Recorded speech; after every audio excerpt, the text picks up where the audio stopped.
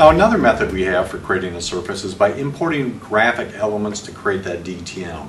And in this case what we're going to do is we're going to take a CAD file and just use the information that's in there to import spot elevations from a, a given level or whatever it happens to be.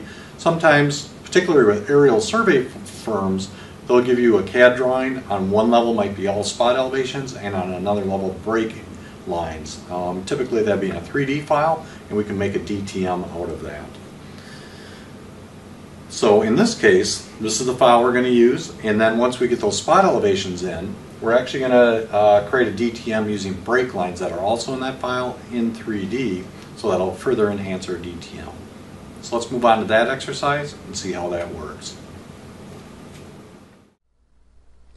Now we'll take a look at creating a DTM from graphics that are stored in the CAD file.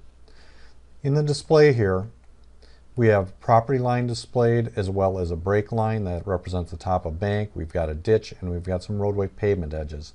This is a 3D file and those are at the correct elevation with the exception of the property line. We don't want that to be part of our DTM. So we're going to go up to level display and we're going to turn off that particular level. We do have data provided by the surveyor for descriptions, elevations, point numbers, and data points. So let's take a little bit of a look at what that is. If I window into an individual shot, I can see that I have the point number, the description, and the elevation. And there's a little point here, it's called an active point in MicroStation. It represents a 3D zero length line is actually the definition of it, and it is at the correct elevation. A lot of times you'll get this information from an aerial surveying firm.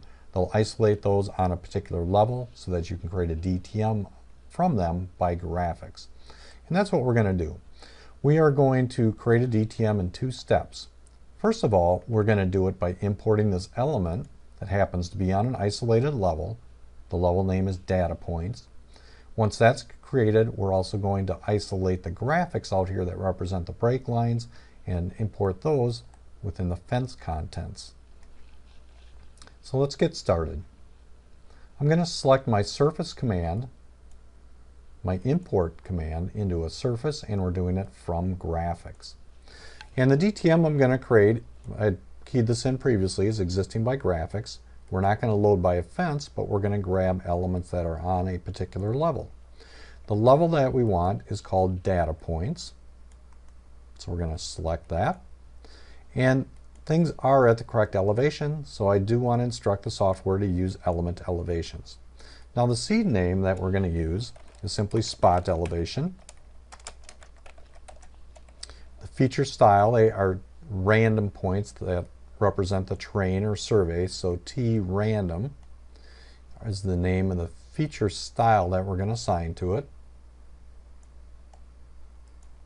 And for triangulation purposes, we want to define those as random points.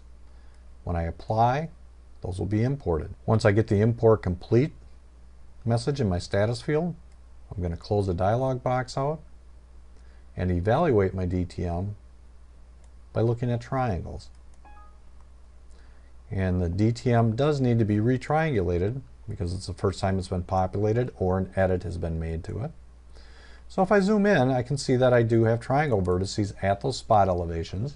If I tentative or snap to them, I do get the correct elevation that's defined for it. In fact, I get additional decimal places depending on the readout I have versus the annotation that was used when it was posted to the screen.